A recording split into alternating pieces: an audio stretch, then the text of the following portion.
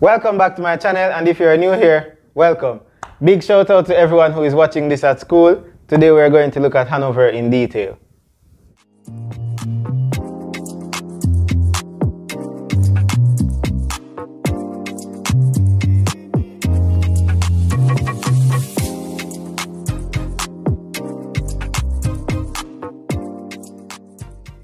Hanover is a parish at the northwest corner of Jamaica. It is the second smallest parish, but if you're someone like me who consider Kingston and St. Andrew as one, you can say it's the smallest parish. Now, Hanover is usually forgotten.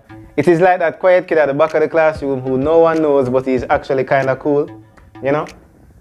The area of Hanover is a little over 450 kilometers square. The population is 70,309 and that was recorded in 2017. And the capital of Hanover is Lucea.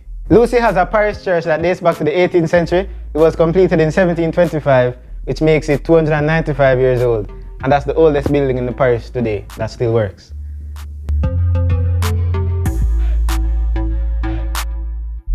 Hanover was established in 1723 and it was named in honor of the British king at the time, George I, who was also a member of the House of Hanover in Germany. During the time when the other parishes were getting their name, Hanover was unnamed for a few decades, even though many of the towns still existed. Not saying it was the last to get its name, but it was somewhere at the back of the line.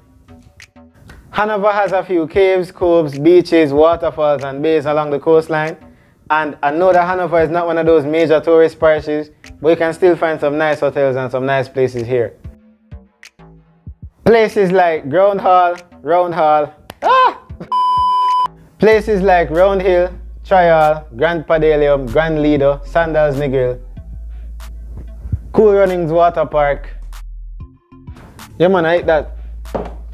Now, for the Jamaicans in the comment section who are going to attack me and say most of these places are in Negril, listen, are you me I talk to? One third of Negril is in Hanover, in case you never know. Other major towns in Hanover besides Lucea and Negril, you have Sandy Bay, Hopewell, Dias, Cascade, and one more. Yeah, Green Island. I say Green Island already?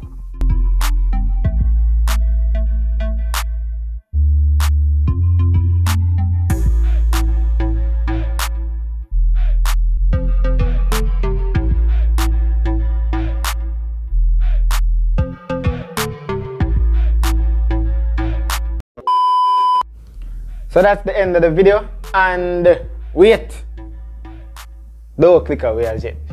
I'll be making a video about 5 things you didn't know about Hanover. And if you want to know about the other parishes, I did a video of the 14 parishes and their capitals. Now remember to like and comment. You're probably subscribed by now, if I'm not wrong. You subscribe? You subscribe? You're not subscribe it? How come? How?